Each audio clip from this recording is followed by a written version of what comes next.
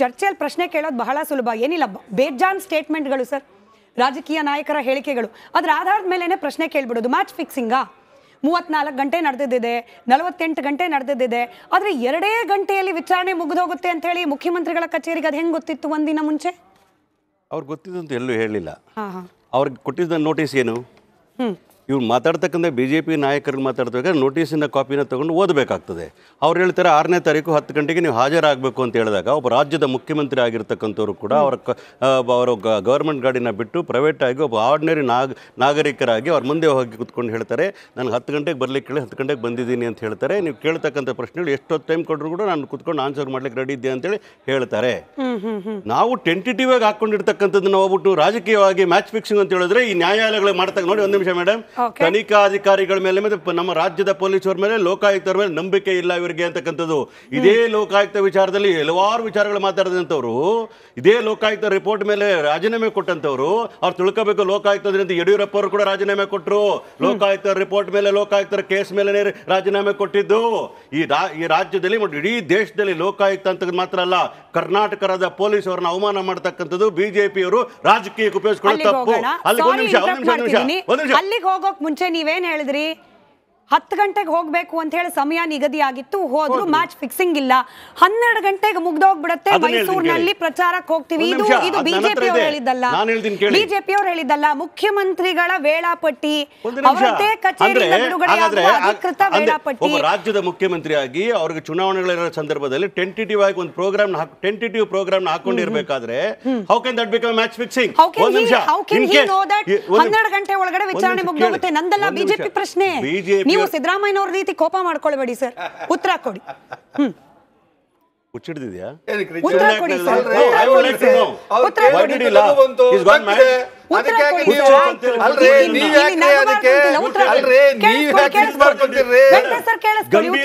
ಚರ್ಚೆಗಳನ್ನ ಹಾಳು ಮಾಡ್ತಕ್ಕಂಥದ್ದು ಈ ರೀತಿ ನಾವಲ್ಲ?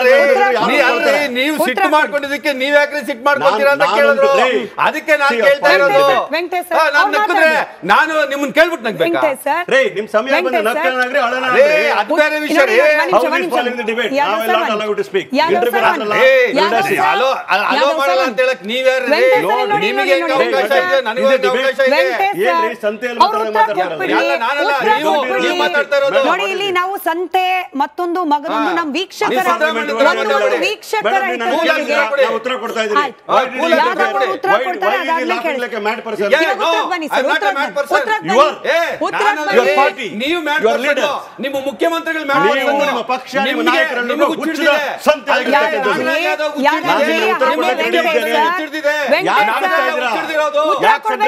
ನೀವು ಉತ್ತರ ಕೊಡ್ಬೇಕಲ್ಲ? ನಿಮ್ ಪಕ್ಷದಿಂದ ಗಂಭೀರವಾದ ಪ್ರಶ್ನೆಗಳ ಕೊಡು, ಆಚೆ ಬಂದಿದೆ? ಉತ್ತರ ಕೊಡ್ಲಿ ಆಮೇಲೆ ಉತ್ತರ ಕೊಟ್ಬಿಡಿ, ಸೆಕೆಂಡ್.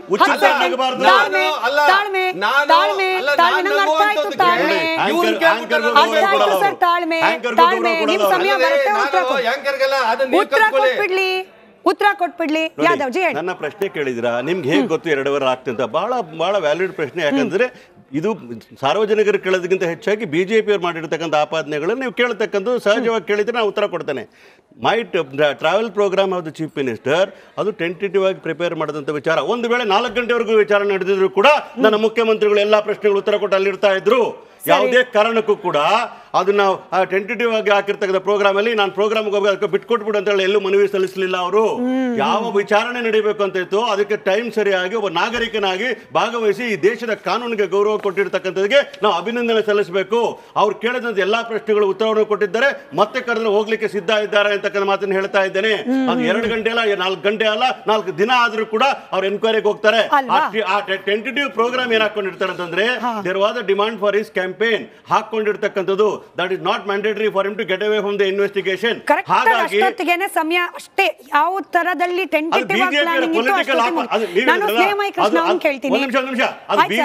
ಆಪಾದನೆ ಪೊಲಿಟಿಕಲಿ ಬೇಸ್ಡ್ ಆಪಾದನೆ. ಇವತ್ತು. ಸಿಬಿಐ ಕೊಡಿ ಅಂತ ಅಶೋಕ್ ಅವರು ಕೇಳ್ತಾರಲ್ಲ. ಸಿಬಿಐ ದೂರುದಾರರು ಕೇಳ್ತಿದ್ದಾರೆ. ಸ್ನೇಹಮಯಿ ಕೃಷ್ಣ ಅವ್ರು ನಮ್ಮ ಜೊತೆ ಜಾಯಿನ್ ಇದ್ದಾರೆ. ಐದು ನಿಮಿಷ ಇರ್ತಾರೆ ಅಷ್ಟೇ ಚರ್ಚೆಯಲ್ಲಿ. ಸ್ನೇಹಮಯಿ ಕೃಷ್ಣ ಅವರೇ ಲೋಕಾಯುಕ್ತದಿಂದ ತನಿಖೆ ಆಗ್ತಾ ಇದೆ. ಕೋರ್ಟ್ನ ನಿರ್ದೇಶನ ಇತ್ತು ತನಿಖೆ ಆಗ್ಬೇಕು ಅಂತ ಹೇಳಿ ನೀವು ಕೇಳ್ಕೊಂಡಿದ್ದು ಅದೇ ಆಗ್ತಾ ಇದೆ. ಸಮಾಧಾನ ಯಾಕಿಲ್ಲ ಅಂತ? ಮೇಡಮ್ ಲೋಕಾಯುಕ್ತ ತನಿಖೆ ಮೇಲೆ ನಮ್ಗೆ ಸಾಕಷ್ಟು ಅನುಮಾನ ಯಾಕಿದೆ ಅಂತ ಹೇಳಿದ್ರೆ, ಇದೇ ಸಿದ್ದರಾಮಯ್ಯ ವಿರುದ್ಧ ತನಿಖೆ ಬೇರೆ ಪ್ರಕರಣ ತನಿಖೆ ನಡೆಸಂತ ಲೋಕಾಯುಕ್ತ ಸಲ್ಲಿಸಿದಂತ ಒಂದು ಸುಳ್ಳು ಅಂತಿಮ ವರದಿ ಬಗ್ಗೆ ನ್ಯಾಯಾಲಯನೇ ಚೀಮಾರಿ ಹಾಕಿದೆ. ಮತ್ತೆ ಇವತ್ತು ಮೊಕದ್ದಮೆ ದಾಖಲಾದ ಕ್ಷಣದಿಂದ ಇವತ್ತು ಏನ್ ತನಿಖೆ ಪ್ರಕ್ರಿಯೆ ನಡೀತಾ ಇದೆ, ಅದನ್ನ ನೋಡಿದಾಗ ಸಾಕಷ್ಟು ಅನುಮಾನ ಬರುತ್ತೆ. ಎಲ್ಲದಕ್ಕೂ ಪೂರಕವಾಗಿ ಇವತ್ತು ಸಿದ್ದರಾಮಯ್ಯ ವಿಚಾರಣೆ ಮಾಡಿರ್ತಕ್ಕಂಥ ಪ್ರಸಂಗ ಸ್ಪಷ್ಟ ಸಾಕ್ಷಾಧಾರ ಆಗಿದೆ ತನಿಖಾಧಿಕಾರಿ ಬರುವ ಸಮಯನ ನಿಗದಿ ಮಾಡಿದ್ರೆ, ಆರೋಪಿ ಹೋಗುವ ಸಮಯನ ನಿಗದಿ ಮಾಡ್ತಾರೆ. ಅದೇ ಸಮಯಕ್ಕೆ ತನಿಖಾಧಿಕಾರಿ ವಿಚಾರಣೆ ಮುಗಿಸ್ತಾರೆ. ಈ ಪ್ರಕರಣದಲ್ಲಿ ಎಷ್ಟು ಸಾಕ್ಷ್ಯಾಧಾರ ಇದೆ, ಅವರ ಒಂದನೇ ಆರೋಪಿ ಇರ್ತಕ್ಕಂಥ ಸಿದ್ದರಾಮಯ್ಯ ಅವ್ರನ್ನ ಯಾವ ಪ್ರಶ್ನೆಗಳನ್ನ ಇಟ್ಕೊಂಡು ಪ್ರಶ್ನೆ ವಿಚಾರಣೆ ಒಳಪಡಿಸ್ಬೇಕು ಅದು ವಿಚಾರ ಸಂಪೂರ್ಣ ಮಾಹಿತಿ ನನ್ನ ಹತ್ರ ಇದೆ.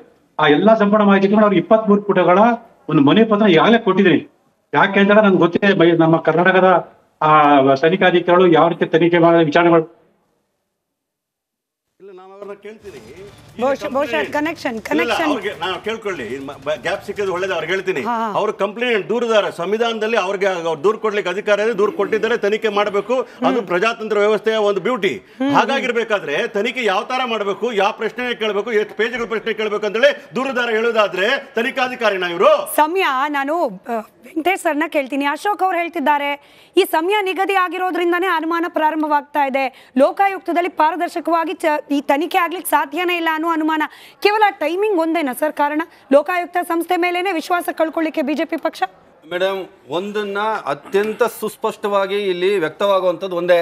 ಇದು ಟೋಟಲಿ ಪೂರ್ವ ನಿಯೋಜಿತ ಟೋಟಲಿ ಮ್ಯಾಚ್ ಫಿಕ್ಸಿಂಗು? ಅದರಲ್ಲಿ ಯಾವುದೇ ಈಗ ನೋಡಿ ಸ್ನೇಹಮಯಿ ಕೃಷ್ಣ ಅವರವರು ಎತ್ತದಂತ ಪ್ರಶ್ನೆ ಇದೆಯಲ್ಲ? ಹೋಗೋ ಟೈಮ್ ಇವರೇ ನಿಗದಿ ಮಾಡ್ತಾರೆ ಹನ್ನೆರಡು ಗಂಟೆಗೆ ಹೆಂಗೆ ಗೊತ್ತಾಯ್ತು ಈಗ ಎಷ್ಟೋ ತನಿಖೆಗಳಲ್ಲಿ ನಮಗೆ ಗೊತ್ತಿರ್ತಕ್ಕಂಥದ್ದು ಐದವರು ಹತ್ತವರು ಈವನ್ ಮಾರನೇ ದಿವಸ ಇಡೀ ದಿವಸ ವಿಚಾರಣೆ ಮಾಡಿ ಮಾರನೇ ದಿವಸ ಬನ್ನಿ ಅಂತ ಹೇಳಿದಂಥ ಪ್ರಸಂಗಗಳು ನಮ್ಮ ಕಣ್ಣು ಮುಂದೆ ನಡೆದಿರ್ತಕ್ಕಂಥದ್ದು ಅಂಥದ್ರಲ್ಲಿ ಕೇವಲ ಎರಡು ಅವರ್ ಮಾತ್ರ ಇವ್ರದ್ದು ವಿಚಾರಣೆ ಮಾಡಿ ಬಿಡ್ತಾರೆ ಅನ್ನುವಂಥದ್ದು ಹೆಂಗ್ ಗೊತ್ತಿತ್ತು ಮತ್ತೆ ಹನ್ನೆರಡುವರೆಗೆ. ಹನ್ನೆರಡುವರೆಗೆ ಅಲ್ಲ ಒಂದ್ ನಿಮಿಷ ಮೇಡಮ್ ಒಂದ್ ನಿಮಿಷ. ನಾವು ಹನ್ನೆರಡು ಗಂಟೆಗೆ ಹನ್ನೆರಡು. ಗಂಟೆಗೆ ಚಂದ್ರದಲ್ಲಿ ಚನ್ನಪಟ್ಟಣದಲ್ಲಿ ಭಾಗವಹಿಸ್ತೀನಿ ನೋಡಿ ಇದು ತುಂಬಾ ಸಿಂಪಲ್ ಯಾವತ್ತು ಸ್ನೇಹಮಯಿ ಕೃಷ್ಣರವರು ಇದನ್ನ ಸಿಬಿಐ ವಹಿಸಬೇಕು. ಇದು ಲೋಕಾಯುಕ್ತ ತನಿಖೆಯಲ್ಲಿ ಒಂದು ಸ್ಪಷ್ಟವಾದಂತ ಯಾವುದೇ ತೀರ್ಪು ಬರೋದಿಲ್ಲ ಅನ್ನುವಂತ ಅನುಮಾನವನ್ನ ವ್ಯಕ್ತಪಡಿಸಿ ಏನು ಅವರು ಹೈಕೋರ್ಟ್ ಅಲ್ಲಿ ಪ್ರಶ್ನೆ ಮಾಡಿದಾರಲ್ಲ ಆ ತಕರಾರು ಎತ್ತಿದಾರಲ್ಲ ಅದನ್ನ ಮರೆಮಾಚುವಂತ ನಿಟ್ಟಿನಲ್ಲಿ ಇವತ್ತು ಮುಖ್ಯಮಂತ್ರಿಗಳೇನೆ ಇದು ಒಂದು ಪೂರ್ವ ನಿಯೋಜಿತ ಕಾರ್ಯಕ್ರಮವನ್ನ ಈ ಪೂರ್ವ ನಿಯೋಜಿತ ಸಂಚಲನ ಸಂಚನ್ನ ಮಾಡಿರ್ತಕ್ಕಂಥದ್ದು ಇದರಲ್ಲಿ ಯಾವುದೇ ಇದಿಲ್ಲ. ನೋಡಿ. ನಾನು ಮುಂದುವರೆದು 10 ನಿಮ್ಗೆ ಇನ್ನೊಂದು ಮುಂದುವರೆದು ಹೇಳ್ತೀನಿ. ಇಲ್ಲ, ನನಗೆ ಹೇಳಿದ್ರೆ 10 ಇವತ್ತು ಇವತ್ತು 10 second ಅವ್ರು, ಸಮ 10 ಅಲ್ಲಲ್ಲ ಮೇಡಮ್ ಇವತ್ತು ಪದೇ ಪದೇ ಸಮಾಜವಾದಿ ನಾನು ಸಮಾಜವಾದಿ ಹಿನ್ನೆಲೆಯಿಂದ ಬಂದಂತವನು ಅಂತಾರೆ. ನೀವು ಸಮಾಜವಾದ ಹಿನ್ನೆಲೆಯಿಂದ ಬಂದಿರೋರೇ ನಿಜ ಆದ್ರೆ ಯಾಕೆ ಸ್ವಾಮಿ ನೀವು ಮುಖ್ಯಮಂತ್ರಿಗಳಾಗಿ ಇರಬೇಕು ಅನ್ನೋಂಥ ಅಪಾಪಿತನ ನೂರ ಮೂವತ್ತಾರು ಜನ ಇದ್ದಾರೆ ಅಂತ ಪದೇ ಪದೇ ನೀವು ಹೇಳ್ತಿರಲ್ಲ? ನೂರ ಮೂವತ್ತಾರು ಜನದಲ್ಲಿ ಯಾರನ್ನ ಒಬ್ಬರು ಮುಖ್ಯಮಂತ್ರಿಗಳಾಗ್ತಾರೆ? ನೀವು ಮತ್ತೆ ವಾಪಸ್ ಬಂದು ಪ್ರಾಮಾಣಿಕರು ಅಂತ ನೀವು ಸಾಬೀತ್ ಮಾಡ್ಕೊಂಡು ಬಂದು ತನಿಖೆ, ತನಿಖೆ. ನೀವು ಮುಖ್ಯಮಂತ್ರಿ ಮುಖ್ಯಮಂತ್ರಿಯಾಗಿ ಯಾರು ಬೇಡ ಅಂತಾರೆ? ಇಲ್ಲ ಇಲ್ಲ ವೆಂಕಟೇಶ್ ಅವರೇ ತನಿಖೆ ಆಗ್ತಿದೆ. ತನಿಖೆಯನ್ನು ಎದುರಿಸ್ತಿದ್ದಾರೆ.